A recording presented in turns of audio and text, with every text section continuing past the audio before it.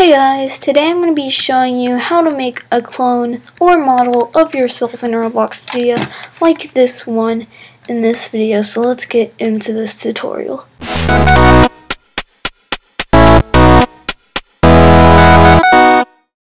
Hey guys, as you saw in the beginning of this tutorial, I'm going to be showing you how to make a model of yourself. And pretty much what you can do with this is if you have a game and you want to show who made it, which would be yourself. You could make a little section of the game where there's a statue of yourself that says who made the game. And if you had other people make the game, you could put models of them and say like what things they did for the game. Or you can just have it for your game or whatever use you want pretty much. So that's what we're going to be doing today. So what you want to do first is make sure you have the toolbox the Explorer and the Properties panel. You won't need the Properties as much, but if you really, you really at least need these two, so if you don't have any of them, you can go into View and find them and just click them to get them in here. And now what we want to do is press play. So pretty much what we want to do is find us. Now, as you can see, there is going to be two of us.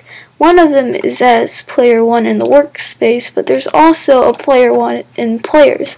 But the one in the workspace is the right one, and the reason for that is because the player one in the players is just the data of your player. It just has the player scripts and all that, which is really just not the actual model part of it.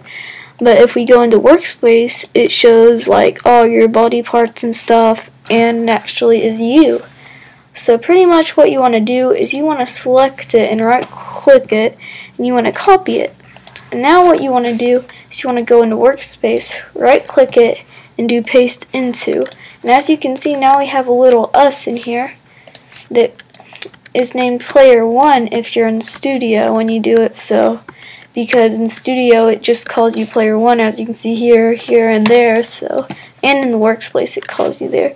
So what you want to do now is pretty much find yourself in here. You don't want to accidentally get yourself, but you're going to find yourself. And if you want, you can rename it, and you can call it your name. So I'm going to do Firewolf Gaming. And there we go, it's called Firewolf Gaming now. So, oops, what have I done? Ah. But anyway, just ignore that. I don't know why that's in here right now. But what we want to do now is we want to do save to Roblox. And pretty much you want to do create new. And you want to name it whatever. I'm just going to call it Fire W. You don't need a description. You can unlock it, allow comments, or whatever. And you can press finish. And now, if we go up to our profile up here, and go to creations and go down here. As you can see, we have Fire W here.